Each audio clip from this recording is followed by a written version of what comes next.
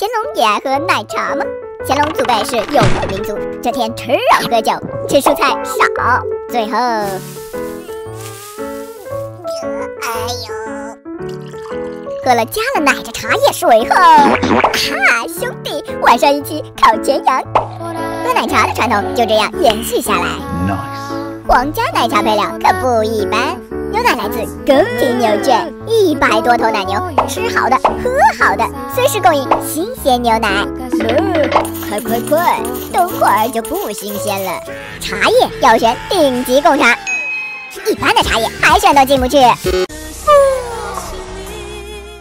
水要用玉泉山山泉，当天喝，当天打，再加入极品奶油清盐，牛十一个大汉煮制后就能上茶了。万岁爷，您请。嘿，用我这镶嵌了一百零八颗红宝石的和田玉碗喝奶茶，倍儿香。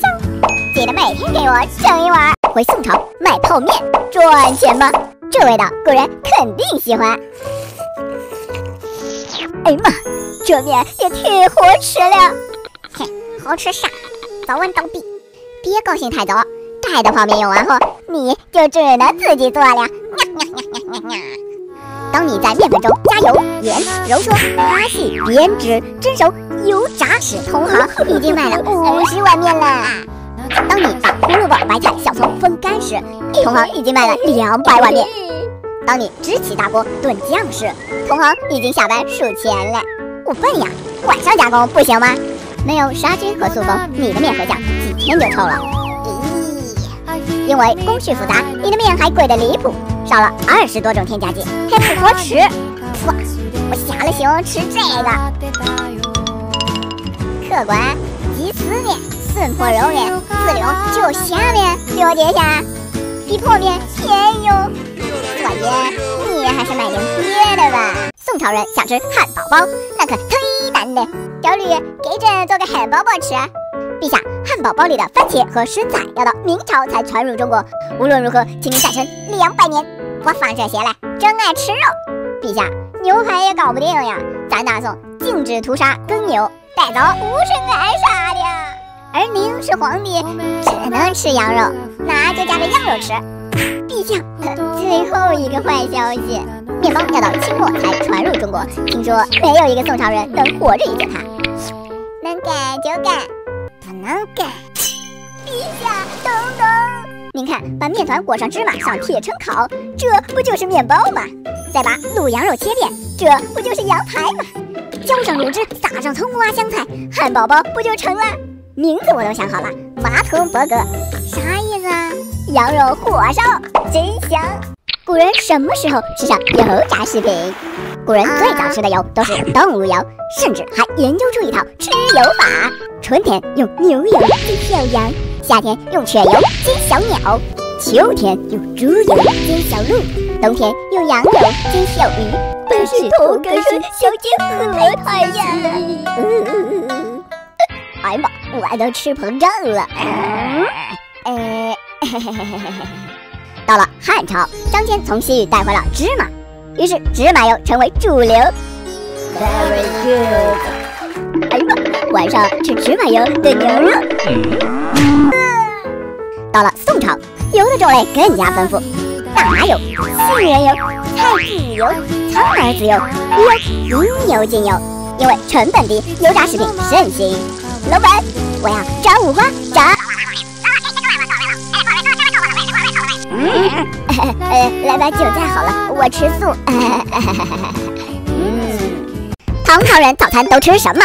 比如粥就是唐朝人的最爱，他们还喜欢往粥里加奶、加蔬菜。加肉加水果加干果，像王维就特喜欢在粥里加芝麻。哈哈，喝完这碗粥，我要开始写诗了。除了粥，蒸饼和杂菜煎饼也是热门早点。再搭配一碗叫做博托的面片汤，我加班到十点都对不起这顿早餐。呃，如果这些你都没胃口，还可以找家西域湖饼店买张饼垫肚子。老板，这大饼的滋味也太单调了，有没有吃过就不悔此生的饼？有啊，我两年前就吃过一种叫“鼓楼子”的羊肉糊饼，里面搁上胡椒豆豉调味，再抹上酥油，放炉子里烤。一口下去，羊肉和酒香在胃里就爆开，别提多香了。那贵吗？我要给舅舅买一箱。这么跟你说吧，我两年前买过一箱，多谢谢，还在还病钱。唐朝人有多喜欢吃大蒜？据说唐朝时，洛阳一个和尚嘴馋，去朋友家吃鱼，结果鱼上桌了，没有蒜，他当场就掀了桌子。吃肉不吃蒜，香味少一半。不止和尚，唐朝从皇帝到百姓都爱吃蒜，吃羊肉要配蒜，喝茶要配蒜，就连吃张糊饼，如果放上鸭肉不搁蒜，最多也就吃两口。舅舅，这饼不放蒜，吃着不地道。诗人高适更离谱，直接在家里搞了个大蒜基地，还边种边写诗呢。不论空蒜醋，今要好椒姜。哦，好诗，会说话。等会儿带你舅舅一起来吃蒜泥凉面。吧，该吃蒜蓉蒸鸭吧。而高适曾跟李白和杜甫一起游山玩水吃大餐，无法想象他们一边吃蒜一边写诗的情景。我扶黄河去金阙，挂西域记波连山。古人吃得起茶叶蛋吗？比如光绪皇帝吃一颗茶叶蛋就要十两银子。连他自己都觉得不可思议，你吃的蛋也是这个价吗？皇上，我对鸡蛋过敏，不了解蛋价。这背后其实是内务府在搞鬼。下个月老妈生日啊，蛋价得再提点儿，因为没人敢管，内务府更加大胆的捞油水，甚至把慈禧一天的用蛋量提到五百个。啊，舅舅，老佛爷能吃这么多蛋吗？没这么多蛋，咱咋娶媳妇呀？哎呀，讨厌！后来，慈禧安排内务府采购一批木箱，内务府报价六十两银子一个。刚要走流程，被大臣严厉骂下，全用六两就能买一个。好啊，给你半个月，办不到就办你。结果内务府提前通知了店家关门，现在立刻马上上看看门。严继明连个箱子渣渣都没捞着，不信邪的严继明又托亲信去天津采购，然后亲信收了内务府一千两银子，跑路了。我就说你不行吧，嗯，一分价钱一分货。古人为啥喜欢吃臭的？比如长沙臭豆腐、安徽臭鳜鱼、广西酸笋、北京豆汁儿，古人都爱的要死。其实主要原因是古代食物匮乏，保鲜措施有限，于是便研究出发酵食物的工艺。不过对于孔子，吃臭明显有难度。哎哎哎，鱼奶要肉白，不食不食。但是对于古代苏州人，夏天能吃上一条臭石手鱼，能美的合不拢嘴。嗯，这鱼真地道。除了平民，皇上也爱吃臭鱼，比如江南的顶级贡品石鱼，号称出水即死。于是当地官员要连夜撒盐加急派送，历经一个月才能到京城。舅舅，这鱼都臭，闪一边去！没见过世面，这叫臭！千万别让上面知道这鱼坏了，多一事不如少一事。好于是帝后嫔妃都以为这鱼本来就是臭的，还赏赐给大臣一起吃，哈，大家一起干了。后来有个太监去江南办事，尝到了新鲜的石鱼，你当我傻呀？石鱼是臭的，你这是假鱼。嗯，呃，这是真鱼，我活了七十多年就没吃过臭食鱼。大口吃肉，大碗喝酒，商朝人也跟你一样会享受。家里来了贵客，程有信立马会拿出祖传大鼎给你炖肉，然后从早上炖到中午，肉还没熟，我们的关系就像这块肉一样，熟不了。谁说的？程有信又迅速拿出祖传小秘，因为体积变小了，三腿中空了，炖肉煮粥跟冲了会员一样快。哎呀，要是能蒸点蔬菜啥的，就完美了。哎，程有信又火速拿出了眼，眼的下半部分是粒。吃饭时加水，放上赠，赠的底部有口，点火加热后就能蒸熟食物，吃到美味的蒸萝卜、蒸藕、蒸肉丸了。哎呀，要是能，要累死我是吧？我的意思是，这些菜是不错，就是缺点啥？缺啥？不如你再等两天，等下回更新就知道了。在古代，冬天怎么吃蔬菜？宋朝时，你有几种选择？呃，首先是腌菜和干菜。秋天产的豆角、萝卜、芹菜、竹笋等，一部分排队进入坛子，跟花椒大料做朋友，变成腌菜；另一部分挂在室外，让太阳当干爹，被晒成干菜。到了冬天，凉拌或者炖肉 都很香。想吃新鲜蔬菜，古人也有办法，秋天下岗的冬瓜、山药、萝卜和白菜茼蒿送进地窖，让他们在恒温恒湿的暖房里迷失自我。哎呀妈！我都等不及被吃掉了。另一部分蔬菜。待遇更高，菜根被放进浅地窖，沙子当枕头，马粪当被子，胶粉。拍一拍，趁他们不注意盖上木头，在发酵生热中就能得到鲜嫩的蒜黄、韭黄、葱黄和芹菜黄，最嫩的会被火速送进皇宫，被皇上吃掉。啊，真香！古代打仗都吃啥？三国时期，除了统帅能啃啃鸡肋，士兵每天就是小米野菜粥。不过开战前能吃顿好的，加了肉的小米野菜粥。刚炸了只鸡，哦吼，炖八千万粥，给大家补补。小气鬼，宋朝就大气多了，军粮还有锅盔和茶叶，真香。羡慕不？羡慕啥呀？我有奶酪、妈妈、牛肉干，比你香。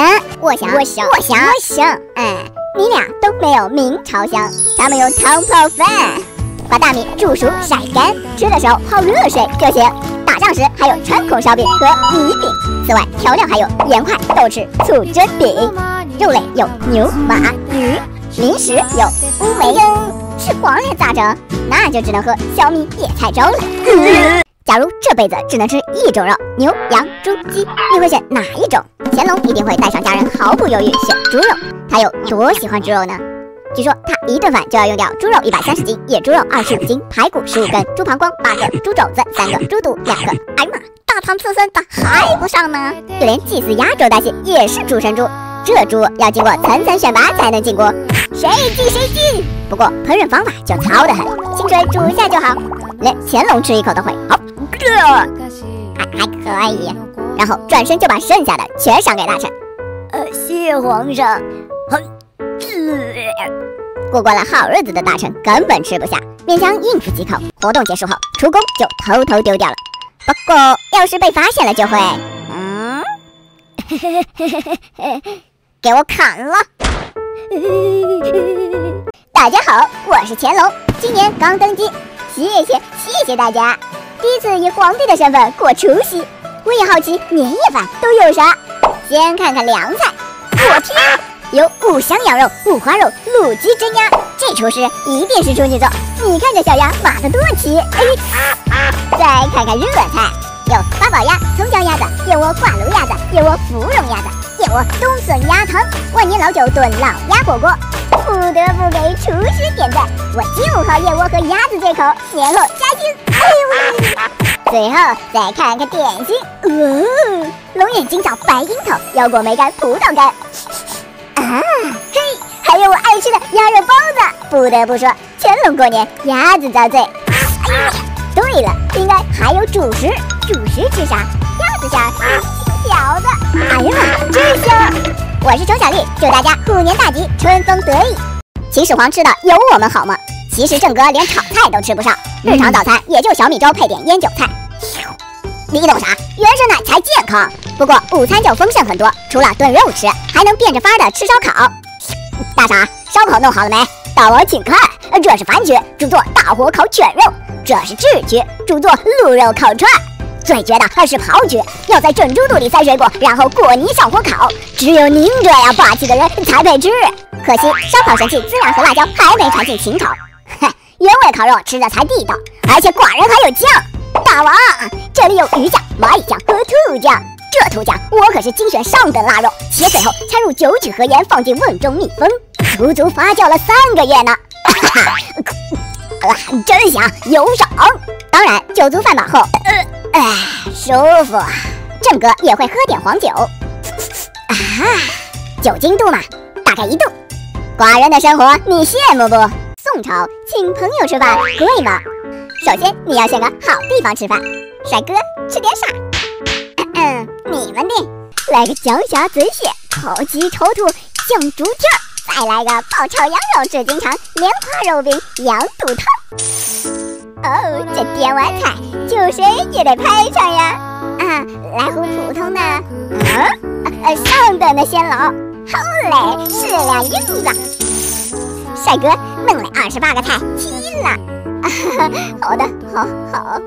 店里有些菜没有，可以就外卖哟。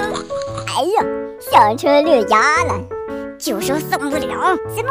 二斤好嘞！哎呀，您的二斤，我晕。还能，花钱看节目哟。这顿饭至少要花掉三十两银子，约等于一天三万块。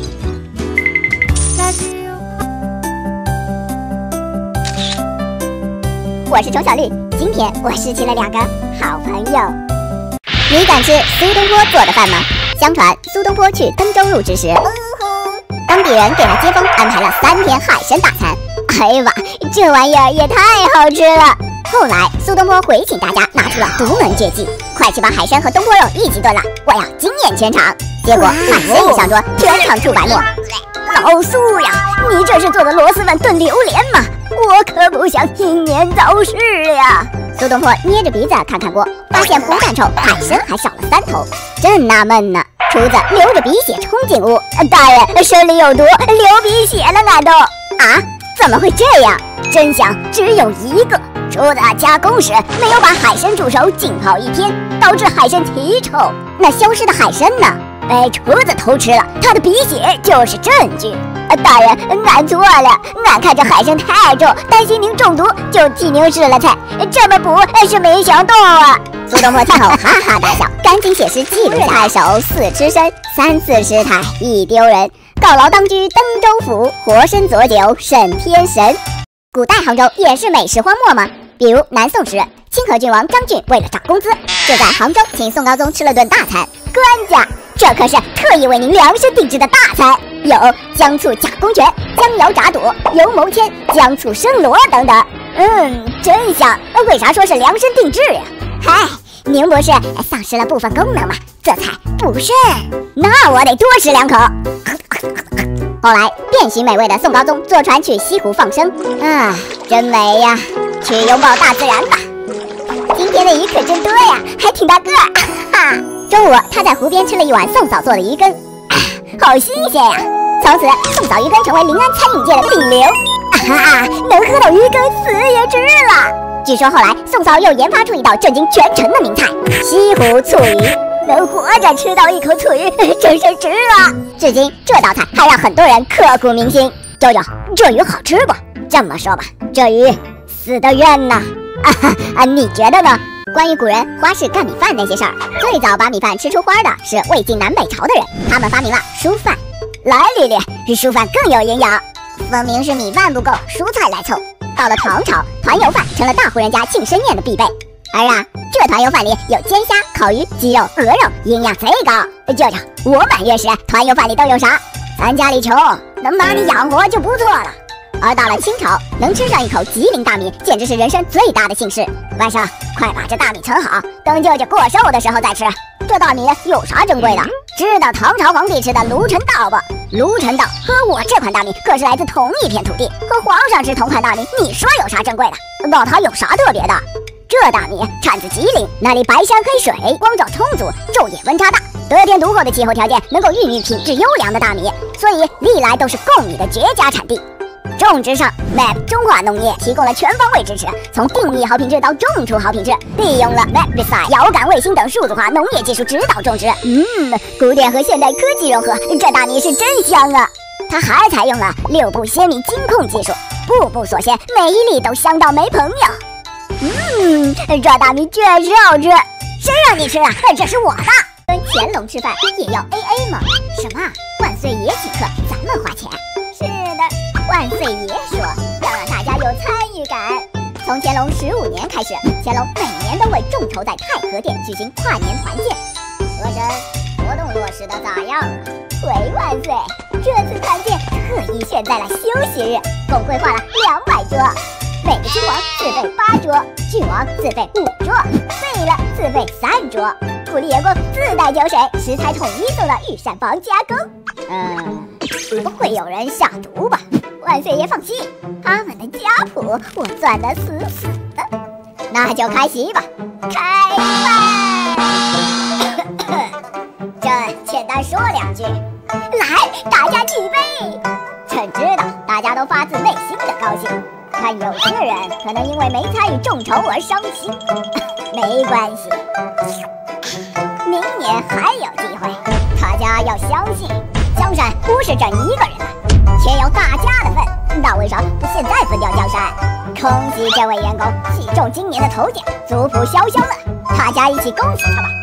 万岁爷，我刚入职，不清楚公司规定啊！程小丽，圣上让咱俩加班，今天咱就给他上一课，必须的。南朝时的御膳等同于今天的自助餐，想吃啥自己拿就行。开席！啊，老舅，快去抢金针武昌鱼！没事，还有跳丸子。啊，难道大家都是饿了三天吗？嗯，徐小克是不是神经了，不动筷子？呃，估计饿傻了。别看了，快抢吃的！还好身上加菜了，不然我就去见我太爷爷了。哎，看徐小克都泡发了。徐小克，你肚子里藏了什么？当然是知识了。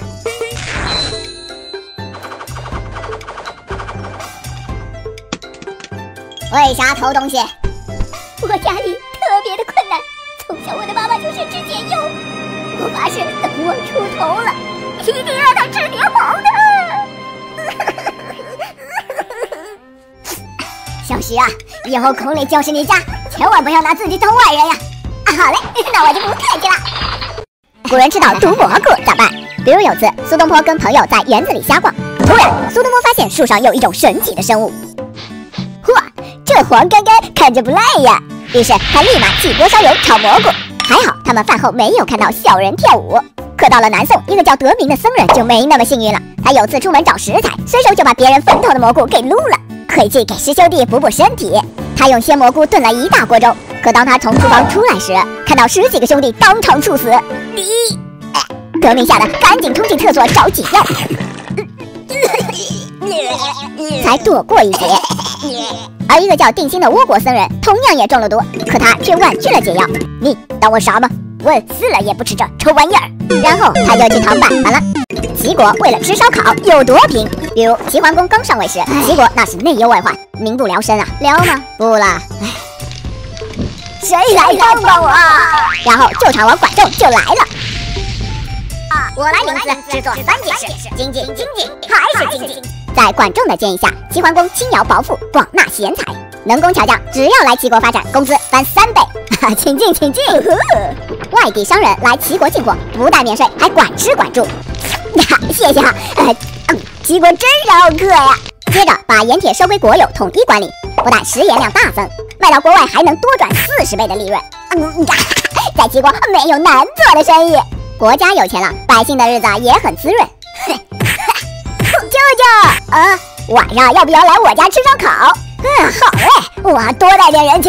当时的烧烤非常狂野，一把三叉戟插上半斤肉，让你一次吃到爽。对，就喜欢这点吃烧舅舅真可，烤不完，根本烤不完啊！秦始皇能吃到冰镇西瓜吗？这玩意儿要到宋朝才传入内陆，秦始皇应该是吃不上了。但是他自有妙招，比如趁冬天安排邻人去河里挖大冰块，再统一存进深井里，等到夏天再用。大傻，你去给寡人弄点深井冰过来。是，这俩可是咱大清最深井的。我说的是那个拔凉拔凉的深井冰。哦，知道了。冰块运过来后会被放到冰鉴里，给室内降温，也可以顺手冰点水果吃啊。当然，像龙眼、荔枝、枇杷离咸阳太远，吃不着。葡萄到汉朝才传入，啊，也吃不着。菠萝、草莓、苹果也要到元朝后才有。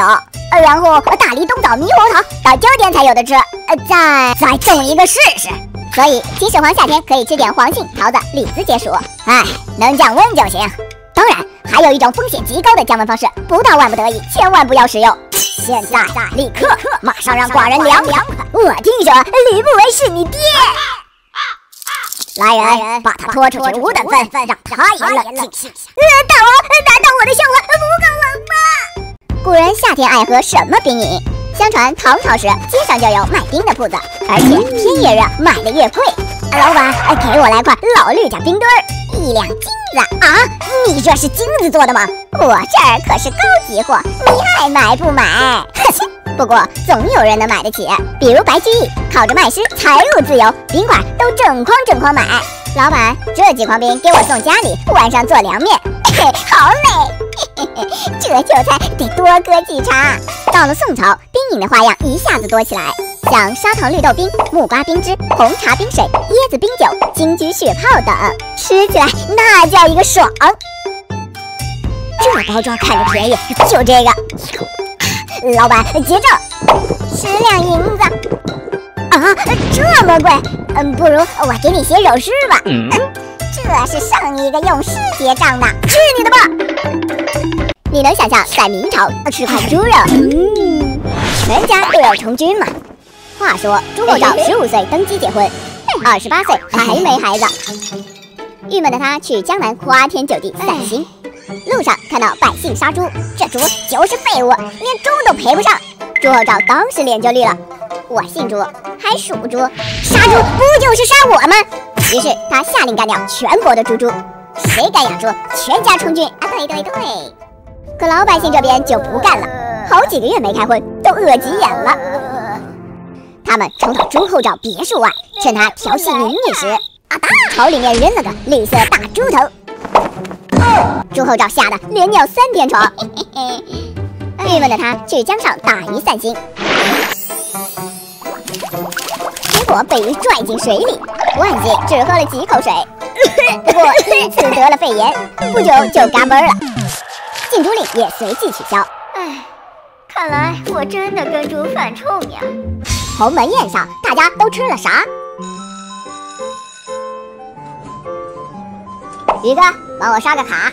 你这人总蹭吃蹭喝的，上次鸿门宴的钱还没还我呢。啥鸿门宴呀？哈哈哈！无耻！程小绿，快给刘邦长长记性。去年冬天那是寒风刺骨呀，玉哥请咱去鸿门宴大饭店吃饭，你还带了一百多个兄弟一起蹭饭，等会儿使劲吃，把项羽吃破产。好，当时宇哥咱仨在雅间吃的，因为是冬天，蔬菜很少，宇哥就点了椒盐烤鹿肝、姜炖猪大腿，还有米酒。我还叫项庄舞剑助兴，别提了，有一剑扎我脑袋上。而且据我的线人透露，你约我吃饭就是想弄死我。要不是上次咸阳马拉松你耍赖跑我前头，我会想弄死你。谁让你名声不好，群众不欢迎你。你想装古剑？